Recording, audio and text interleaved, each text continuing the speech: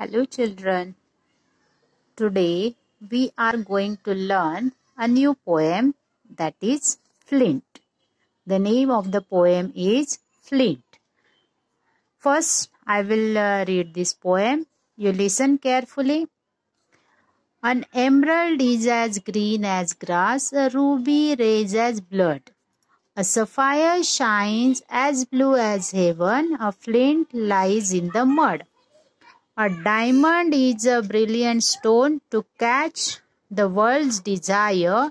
An opal holds a fiery spark, but a flint holds fire. This poem is written Christina Rossetti.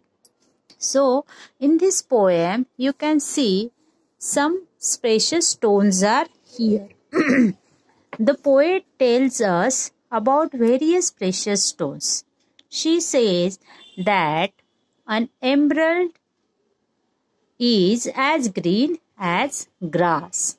Emerald is as green as grass. While ruby is blood red in color.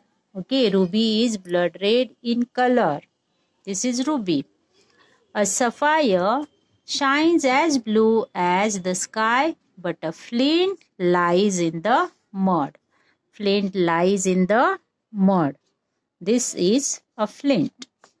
She adds that diamond is a very bright stone and everyone in the world has a strong desire to own it.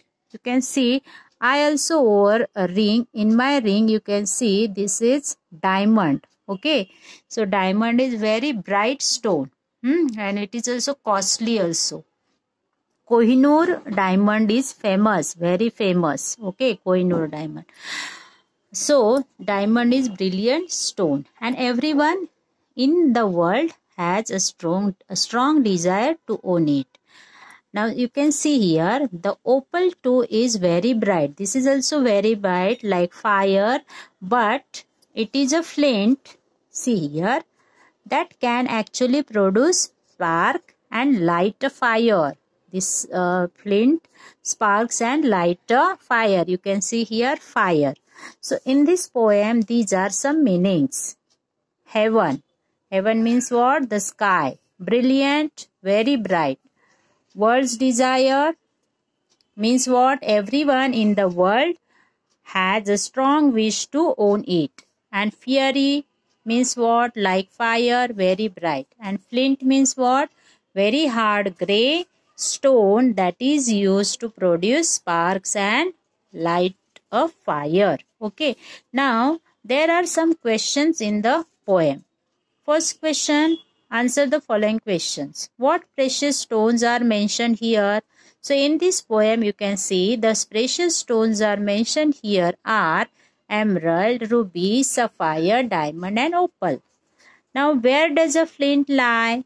A flint lies in the mud.